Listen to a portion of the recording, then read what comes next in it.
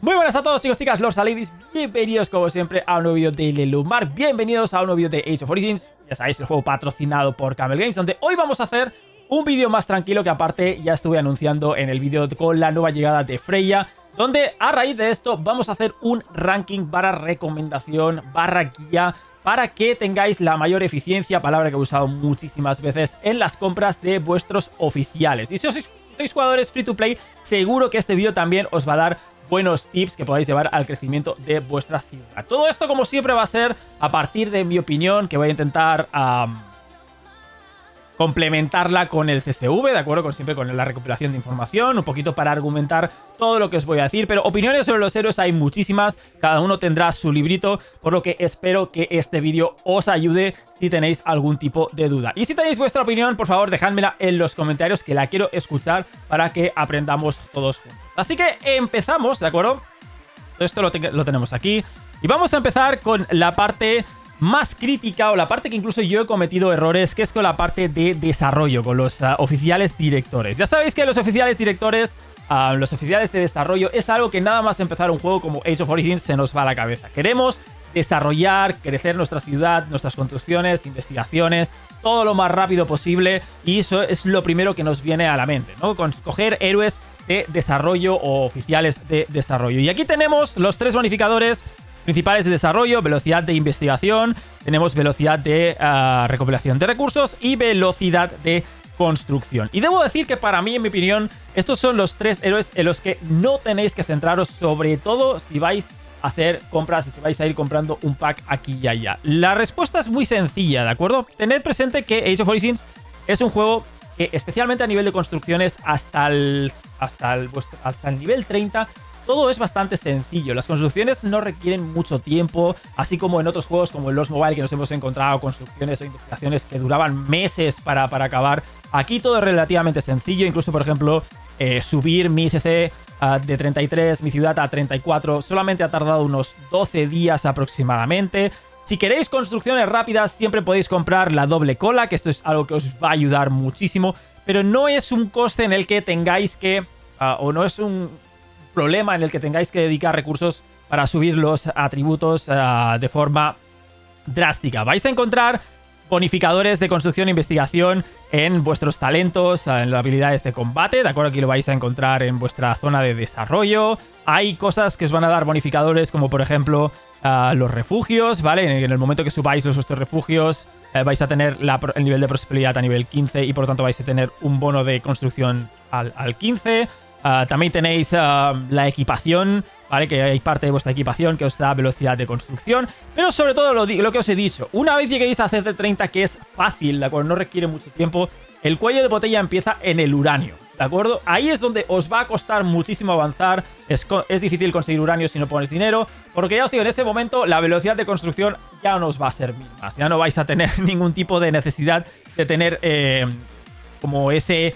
Uh, esa eh, necesidad urgente de tener bonificadores eh, para construir, porque se habrá acabado y ese héroe estará ahí haciendo nada para vosotros. Lo mismo pasa con la investigación. En las investigaciones, pues ya sabéis que tenéis la parte de defensa ciudad que no sirve absolutamente para nada. Y ya sabéis que en la gran mayoría de eventos vamos a tener nuestra ciudad vacía. Uh, lo que interesa es el ataque, por lo que no vamos a hacer muchas defensas de, de nuestra ciudad. La parte de recursos es casi irrelevante y me uno también con la velocidad de recolección de recursos porque siempre he dicho que el éxito de Age of Origins es tener granjas. Necesitáis 3, 4, 5, 6 granjas. Yo tengo 4 e incluso ahí me cuesta a veces en ciertas construcciones, en ciertos momentos, darme mi tiempo para recopilar recursos. Pero es una parte del juego en la que podéis prescindir porque las granjas es vital. Si no tenéis granjas, Uh, os va a costar muchísimo avanzar en Age of Origins y para eso tenéis un vídeo en mi canal de cómo hacer una granja que os va a servir muchísimo. Y las últimas, las dos eh, restantes, la de ejército ya sabéis que es la de principal, por lo que es una rama que se acaba bastante rápido una vez hacéis los ataques de arma a distancia y los PVs de cuerpo a cuerpo, que es lo más vital, eh, que nos vamos a centrar como jugadores uh, low pay to win o, jugadores más free to play, uh, pues ya no hay mucho más que hacer. La parte de desarrollo vais a tener unos cuantos bonificadores bastante sencillos en los primeros niveles. ah, que os van a dar ahí, ya os digo, dos, dos, tenemos dos de construcción, uno de investigación, y llegar hasta aquí es bastante sencillo, no requiere muchos recursos. Por lo que en ese sentido, ya os digo, yo no me centraría para nada en los, de, eh, en los directores y sobre todo tened presente que dentro de los cofres de fragmentos o incluso en las tiendas de negocio, yo algo que he visto es que los héroes, los oficiales que en sus packs diarios tienen más medallas, ¿vale? Es más o menos donde el drop rate uh, se, es más grande, ¿no? Dentro de aquí de, de tienda de negocios o de fragmentos, de los cofres de fragmentos, tenemos más posibilidades de tener cualquiera de los directores porque, si vamos al CSV, tenemos que dentro de cada una de las... Eh, los tres eh, oficiales, su pack diario contiene 8 medallas. Así que es, son los tres que tienen más medallas en su pack diario yo he visto que son los que salen más. Sobre todo si tenemos en cuenta pues los de estrategia, ah, tenemos que Capitán Morgan sale mucho más que Saki porque tiene 6 medallas en vez de 5. En la, eh, los entrenadores, Lorelei, Lorelei uh, nunca me sale el nombre, pero Lorelei Ah, tiene 7 y siempre sale mucho más. Es muy, casi muy complicado que te salga alguno de, entrenador en, tienda de negocios. Y en, por ejemplo, en, los de guerra, ah, pues eh, en este caso Zeus y Alejandría, pues también son los héroes más costosos y que te salgan ahí. Es algo que yo he ido viendo, así que yo recomiendo que con los fragmentos, con los cofres de fragmentos y la tienda de negocios, vayáis construyendo vuestros héroes de... Eh, vuestros eh, oficiales. Siempre digo héroes, pero bueno, ya me entendéis. Ah, de directores. Y sobre todo tener presente que al final de los tres, ¿vale? El único, los únicos que os interesan son a Doc y, Medici. F Medici, su habilidad, como he dicho, es en reduce el daño en defensa. Y en defensa eh, no vamos a querer nada, es lo que menos nos va a servir. Porque casi en todos los eventos vamos a tener, o lo ideal, de acuerdo, dentro del gameplay de Age of Origins, es tener nuestra ciudad vacía y poder siempre centrarnos en el ataque, ¿vale? Esto uh, aquí, ¿vale? Que se me ha ido la, pantalla, pero como veis, uh, F. Medici, experto en defensa, esta habilidad no nos sirve, mientras que en eh, I. Medici sí que tenemos una habilidad de ataque, bomba electromagnética, y sí que tenemos una habilidad de ataque eh, también en Doctor Grey, que es lo que, los dos que nos importan. Muy bien, avanzamos a estrategia, ¿vale? Y en estrategia tenemos más variedad, tenemos a Saki, tenemos a Capitán Morgan, tenemos a Lorelei y tenemos a, a Bravestar, más las combinaciones de verdes y azules. Siempre los azules van a estar por encima de los verdes, así que no vamos a hablar de ellos. Pero dentro de los dos más importantes, que son Saki y Capitán Morgan, como he dicho antes, yo personalmente os daría la recomendación de ir por Capitán Morgan. Lo primero, porque ya, como habéis visto hace un momento, dentro de los packs, eh, Saki tiene 5 medallas mientras que Capitán Morgan tiene 6, por lo que si ponéis poco dinero vais a subir mucho más rápido a Capitán Morgan que, eh, a Saki. Y sobre todo porque la habilidad de Capitán Morgan es permanente en el sentido de que da igual que estemos en ataque o en otro servidor o que estemos eh, en, nuestros, eh, en nuestros eventos, porque su habilidad siempre la tenemos en cualquiera de nuestros ataques. Mientras que en Saki, en este caso, con Saki ya sabéis que solamente aumenta la flota en batallas eh, de servidor, como Void, como Frenzy, como Elite y, demás. Eh, ya sabéis que esto para jugadores a lo mejor que no gastan tanto, o jugadores, jugadores más free to play, vais a ser más conservadores y a lo mejor en este tipo de eventos o batallas sanguiférrimas no vais a participar o vais a participar menos y os interesan más eventos de crecimiento como puede ser pues el levantamiento zombie o arena, ¿de acuerdo? O cosas así que os den eh, más tranquilidad y podáis ir con vuestra alianza en esos eventos semanales. Así que dentro de estos dos yo me centraría ahí. Luego tenéis a Loreline, o Lorelei en Loreline, diferente de los idiomas, que nos da el entrenamiento, ¿de acuerdo? La velocidad de entrenamiento. Yo repito en que esto ya es como un extra, ¿vale? Porque eh, este héroe lo vais a utilizar solamente cuando hagáis tropas. Y me remito un poquito, lo, lo trato un poquito casi como un héroe de desarrollo como los anteriores. Solamente lo vais a utilizar de forma eventual. Sí que es cierto que durante todo el transcurso del juego vais a estar haciendo tropas en algún algo inevitable, pero para mí no es donde yo me gastaría el dinero si tuviera poco ah, margen de compra. Sobre todo su habilidad solamente, ya os digo, funciona en Arena Fatal y en Guerra de Élite. Y yo personalmente, dentro de la opinión más consensa que he visto en, el juego, es que siempre es mejor tener aumento de flota. Siempre es tener mejor.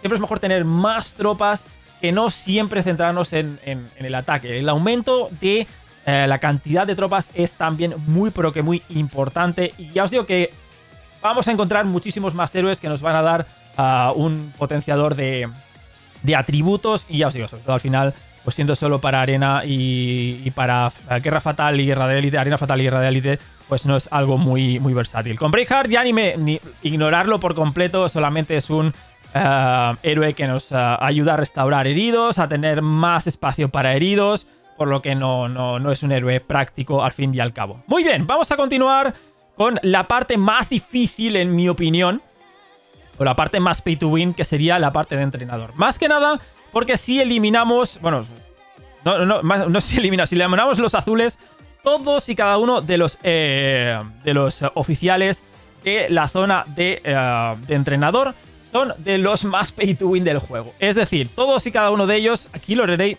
um, la ha puesto en la zona de... Lo voy a borrar por ahí porque no, no va aquí, sino iría aquí abajo.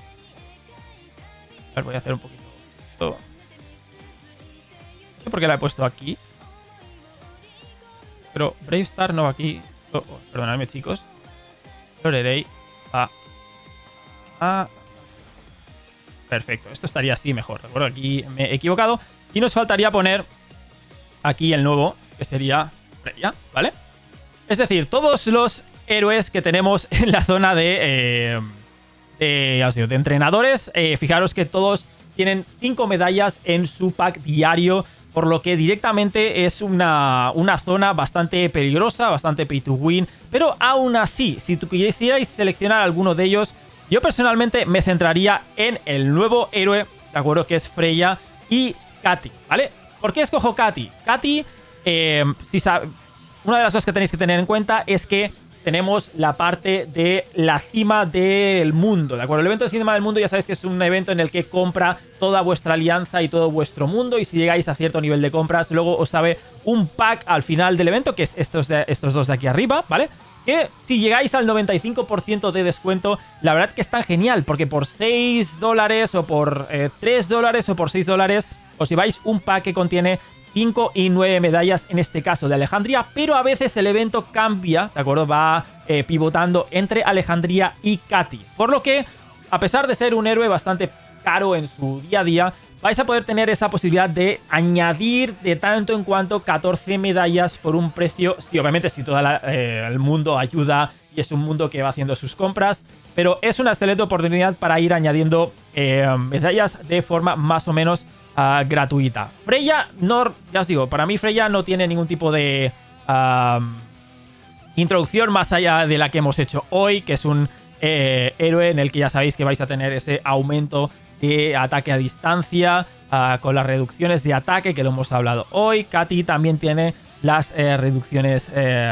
no tiene las reducciones de ataque, sino que tiene los aumentos de ataque que ya hemos dicho es hoy, en el que si sois jugadores más... Eh, más noveles, jugadores más free, eh, to play, más jugadores que no sois tan fuertes, siempre os vais a beneficiar mucho más del ataque, ¿de la subida de ataque que no de la reducción de ataque de los enemigos. Pero muchas veces la reducción de ataque a los enemigos es...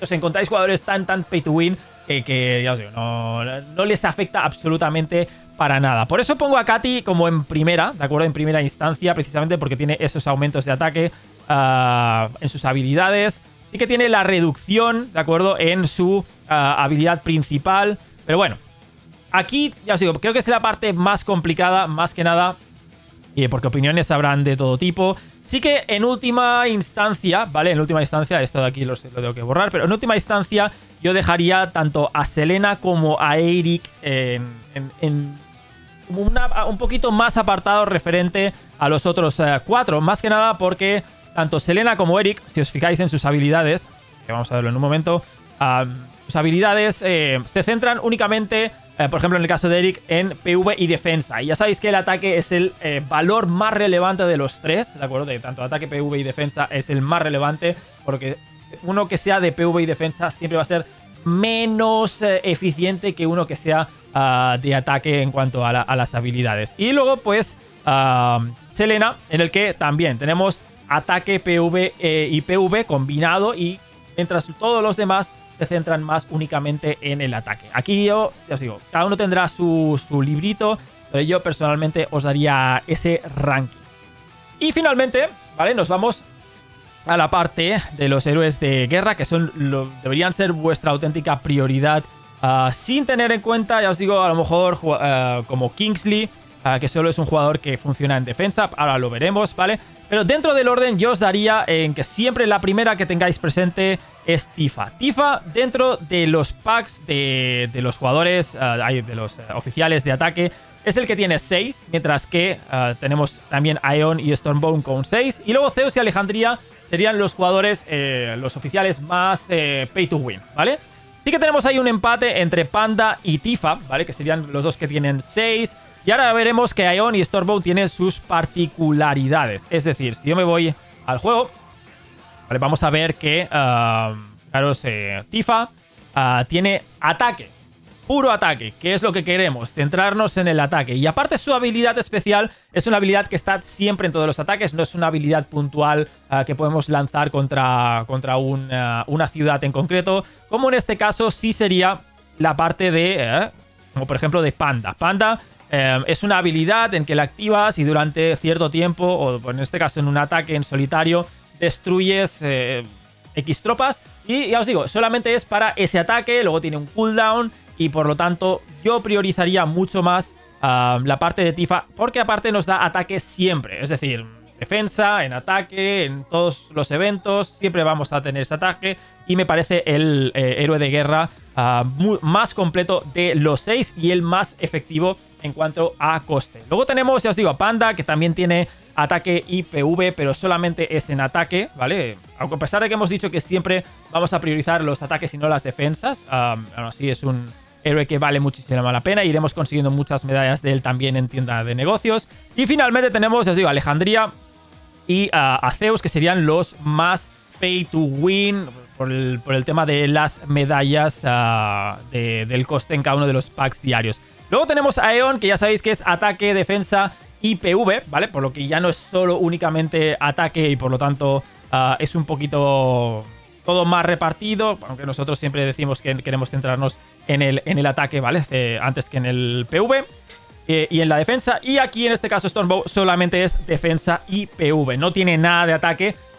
Como mínimo hasta llegar a, previamente a la, a la, quinta estrella. Luego, sí que dentro de vuestro análisis de la sexta estrella, vais a encontrar, por ejemplo, cosas como por ejemplo Alejandría o Aeon que tienen, ya sabéis, la reducción de daño de las tropas a larga distancia, en que es posiblemente la habilidad de la sexta estrella más valorada junto casi al ataque a larga distancia, en que tanto Tifa como Zeus, como casi todos los héroes de, entrenamiento tienen. Eso ya a partir de la sexta estrella todo ya cambia, ya es un debate completamente diferente. Acordaos que aquí estamos hablando un poquito a nivel de eficiencia para los héroes al inicio del juego, sobre todo para jugadores que no ponen mucho dinero. Ese sería un poquito yo el ranking o mi recomendación. Cuando ya llegásemos a la sexta estrella, ya el debate es completamente diferente y sobre todo ahí sí que a partir de la sexta estrella significa ya que lleváis mucho tiempo en el juego, que ya habéis gastado muchos packs.